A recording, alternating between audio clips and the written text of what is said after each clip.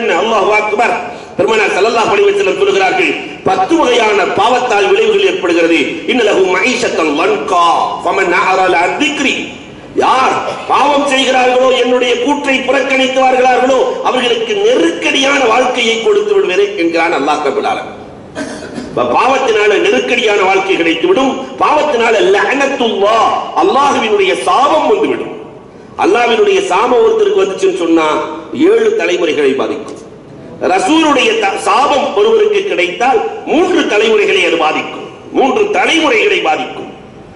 அல்லாஹ்வினுடைய லானத்து கிடைத்துவிடும். நுக்தத்தே சௌதா. பாவம் செய்கிற பொழுது அல்லாஹ் உள்ளத்திற்குள்ளே கரும்புள்ளிகளை வைத்து விடுவான். உள்ளம் இருளடைந்து விடும் சாக்கடைக்கு அருகிலே வாழ்பவனுக்கு அத்தரின் நறுமணம் பிடிக்காது. இல்லையா? சாக்கடை வாசம் அவனுக்கு தெரியுமா? அதனுடைய துர்நாட்டம் தெரியுமா? இதே மாதிரி பாவத்திலேயே மூழ்கியவனுக்கு ஹலாலினுடைய சுவை தெரியாமல் போய்விடும்.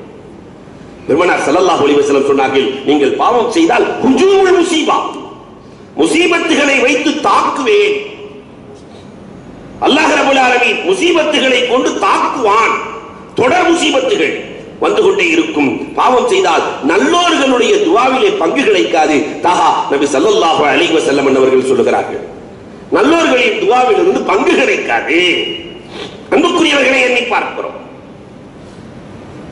இன்னைக்கு நல்லோர்கள் நினைக்கிற அமைப்பிலேயே வாழ்ந்துட்டு இருக்கிறோம்.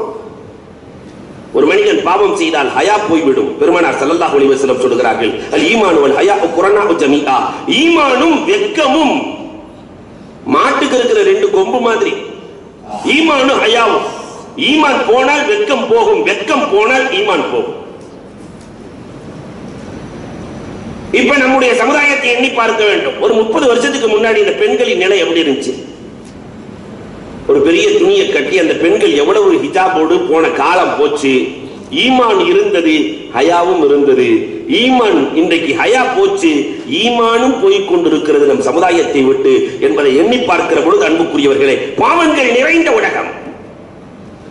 அதே மாதிரி பாவம் செய்ய ஆரம்பித்து விட்டால் அல்லாஹ் ரபுல் ஆலமின். உண்மையான கல்வியை அல்லாஹ் எடுத்து விடுகிறான். மாம் ஷாபி ரமத்துல்லா கேட்டாங்கல்ல வக்கீல் தன்னுடைய உஸ்தாத இடத்துல இப்ப மறதி அதிகமாயிருச்சு என்ன செய்யறதுன்னு கேட்கும்போது வக்கீல் சொன்னார்கள் பாவத்தை குறைத்து விடு மறதி போய்விடும். கல்வி என்பது பிரகாசம் தாயோத்தால் யாசி. அல்ல அதை பாவிகளுக்கு கொடுப்பதில்லை. நினைவாற்றல் அதிகரிக்க வேண்டுமானால் மறக்காத கல்வி ஞானங்கள் வேண்டுமானால் பாவத்தை குறைக்க வேண்டும். பாவம் அதிகமா செய்ய ஆரம்பிச்சதுக்கு என்ன அடையாளம்னா அல்லாஹ் அக்பர் பெருமானார் சொன்னார்கள் துன்யாவின் ஆசை கூடிவிடும் ஆகிரத்தினுடைய ஆசை குறைந்து விடும் இது பாவத்திற்கான அறிகுறி என்றார்கள். துன்யாவின் ஆசை கூடிவிடும் ஆகிரத்தின் ஆசை குறைந்து விடும் ஒருவன் ஜமாஅத்தை விட்டு பாவி என்பதை தெரிந்து கொள்வதற்கு என்ன அடையாளம்? தின்னுனை மிஸ்ரி சொல்லுகிறார்கள் பாவி என்பதற்கு என்ன அடையாளம் தெரியுமா? அல்லாஹ் ஜமாஅத்தோடு தன்னுடைய பள்ளியிலே நிற்க வைக்க மாட்டான் பாவிகளை. பாவத்தை மன்னிச்சாத்தான் தன்னுடைய தர்பாரிலே வந்து நிற்க வைப்பான். பாவி என்பதற்கு அடையாளம் ஜமாத்து தப்பி விடுவதைத்தான் நான் பாவத்தின் அடையாளமாக சொல்லுகிறேன் என்றார்கள்.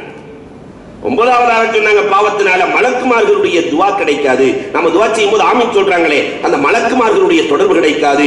பாவத்தினுடைய கடைசி விளைவு அபாத்தாகிற பொழுது களிமா நினைவுக்கு வராது என்றார்கள் கண்மணி நாயகம் ஸல்லல்லாஹு அலைஹி வஸல்லம் அவர்கள். அப்ப பாவத்தை விடணுமா வேணாமா? வாழ்க்கை கணக்கை பார்க்கிற பொழுது அன்பை கூட்ட வேண்டும் பாவத்தை கழிக்க வேண்டும் நன்மைகளை பெருக்க வேண்டும்.